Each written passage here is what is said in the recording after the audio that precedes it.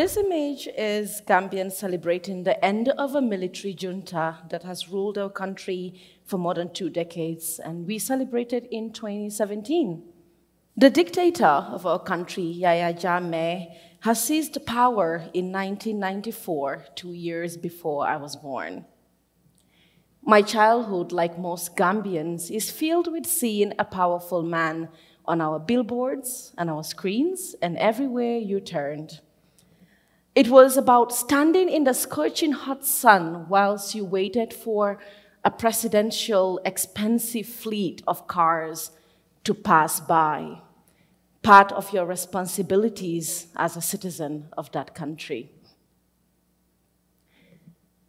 Uh, besides all of that beautiful appearance of a man that was designated by God to lead us, behind all of that was the execution of political prisoners, of stifling freedom of speech, the disappearance of our journalists, citizens who couldn't express how they really felt.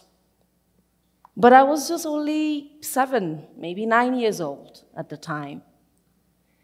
My first experience in realizing there is danger around me, but not really and fully understanding that I lived in a dictatorship, was when I was in nursery school. The government at the time had cracked down on students in 2002. Students who came out to protest against the rape and violence committed against a young student. The government not wanting the international community to understand what was going on in this small West African country decided to gun down, kill, torture, and arrest a lot of students from university to college and to high schools. Did I understand that context? No. Did I understand the nuance of what was happening? No. All I remembered was my mother running to the school premises to pick her child, so as many other parents. And the narrative at the time was there are gunshots and we need to protect our kids. Gambia is a majority Muslim country, a country that vows itself to be peaceful. The dictatorship at the time doing a great job at masking what it really did to political leaders that came before him. He took power in a military coup right after we had come from colonialism into our self identity as a sovereign state. Nobody talked about what was happening. In fact, not most people knew what was happening in the country because we are a small population within the eyes of the international community. So it was easier to mask human rights violations in and out by claiming to cure HIV and AIDS Yahya Jammeh, the dictator at the time, claimed to cure HIV and AIDS and cancer with herbal medicine. So instead of the international community and journalists focusing on the human rights violations of arrest of political dissidents, of people that spoke out against the military junta, instead and rather they focused on whether he could cure HIV and AIDS or cancer. Growing up, just like my parents, I was very naive to the realities of my country. We were supposed to be the smiling coast. Growing up in a polygam polygamous home, I had so much to worry about, like studying, sharing the bed with my other siblings, worrying about everyday life as a teenager in a third world country. However, in 2000, and 14, at the prime of the dictatorship, I had finished high school as a teenager, 18 years old. I decided to participate in a scholarship pageant sponsored by the dictatorship, the government at the time. Promised to study anywhere in the world, whether it's this university or a university in America or in Europe, anywhere, fully funded by my government. And I saw this as an opportunity to escape home, to break the cycle, to make sure I am not one of the number of young African Muslim Gambians who are married off at the age of 14 or 15. This was an opportunity to break the cycle, to bring home a sense of clarity, and that as a young girl, I can make it. I can go to university, and I can change my country. I stood proud on this day, I remember, winning Miss Gambia, being assured of a future full of possibilities to become whatever it is that I want to become. And instead, the president who was supposed to be a father figure, whose crimes I've been unaware of at 18 years old, decided to propose marriage to me. Because within my culture and cons- a construct, it is okay to do that for older men to marry younger teenagers. But being raised by powerful young African women who did not understand what it is to be a feminist, but understood that they could say yes and no, has taught me the word no. No, I don't want to. No, excuse me, not yet. Not understanding that I lived in a dictatorship, not understanding the power of the man that stood in front of me when he proposed to me, as a matter of fact, I want to marry you. I said no, naively, just like many other women around the world who say, No, do not touch me. No, I do not give you access. It doesn't matter what language they speak or where they come from.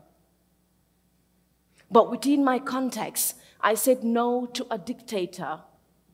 And a dictator who's never heard no, where people killed at his orders, where people disappeared at his pleasure, where journalists were muted and murdered because he wanted to, could not understand why a young girl from a poor family background in a third world country would say no to his proposal. He could not understand that.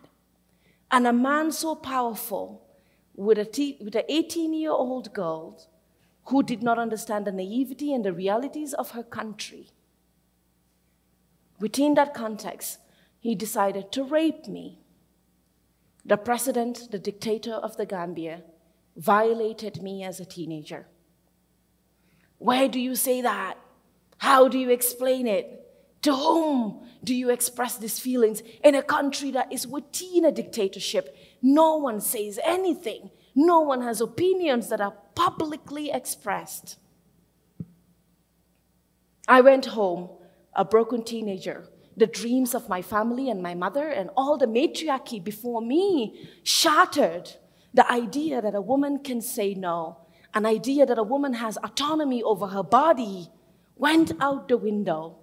As I stood there, I've been violated by the most powerful man that has ever existed the only man in power that I know. So I decided to walk away. I decided to run away. I became a refugee in a neighboring country. Canada, kind enough to take me in as a protected person and a refugee. I came into a country that I did not study, a country I did not understand, a culture that I could not resonate to. But I had to build my life all over again in shame and in silence because it's a culture where there's a taboo about private parts, intimacy. You cannot say, I've been raped, and by who? The dictator of my country who ruled for more than two decades. I tried to find myself, I tried to study. I could not speak out. I became that bold girl that sat in the back of the classroom, the silent girl who had nothing to say. My opinions were muffled. But I tried to learn about my country for the first time to understand that I really lived in a dictatorship. That my people couldn't voice their opinions, that people died, that politicians were not treated fairly, that elections were rigged, that journalists disappeared, that women were being raped in prisons and by the military government. So I spoke out. Because when I sat on a computer to research about other survivors of violence within the Gambia, I could not find examples. I could not find other survivors that I could resonate with, that I could see as a blueprint for my journey. So I decided to speak out. at the United Nations, with the New York Times, BBC, investigations by the Human Rights Watch.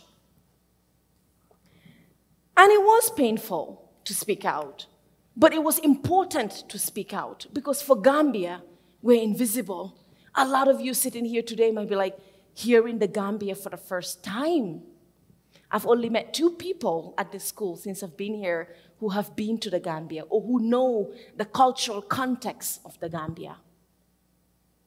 But we are very conservative, talking about private parts and body parts, or even the relationship between human rights and democracy is very rare.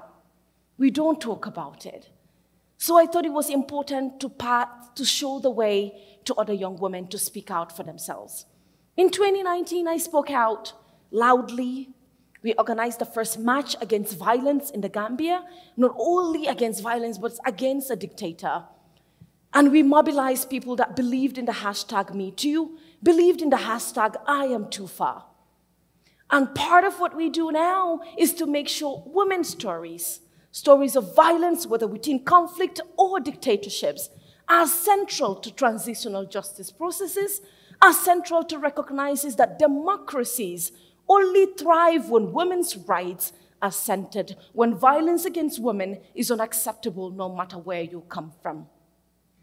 I have decided to use my voice because I realize the world's interest in me is not because of who I am or the poor family background that I come from, but because my perpetrator is a powerful dictator who has robbed soldiers with the most powerful people around the world, from Latin America to America, North America, and the rest of the African continent. I wrote a book and the reason why I wrote the book is because I wanted young girls and women to resonate with the nuance of my story, to understand that it is possible to speak out, not only speak out, but be an active participant towards democratization of democratic countries, regardless of the abuse that has been committed against you.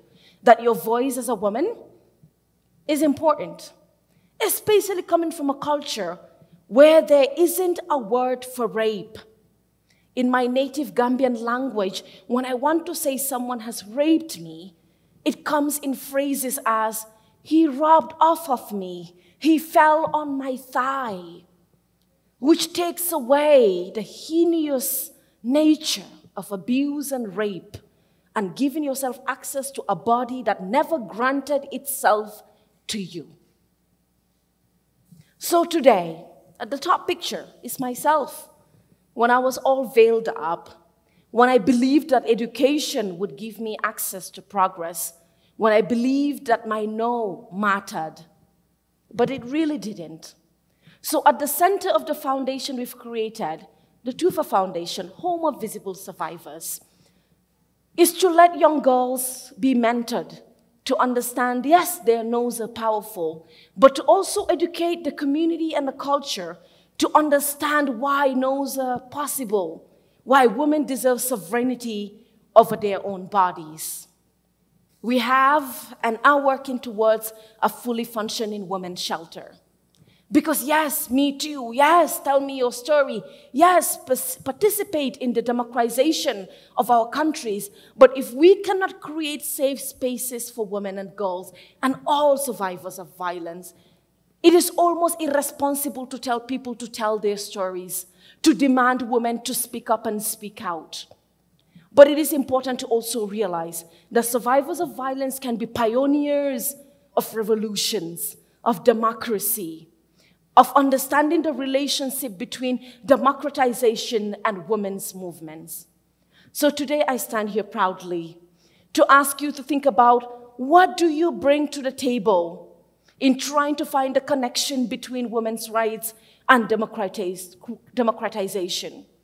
To not forget at the center of every revolution, even here in Guatemala, were women who stood their ground, who were principled in ensuring their rights were seen and respected. And thus, the greater achievement of human rights, the greater realization of democratization, and establishments like these institutions were possible because of the defiance of women. And today, more important than ever, to remember Iran, to remember women in Nigeria and all around the world, that we have a collective responsibility to center human rights as a catalyst for revolution and democratization. Thank you.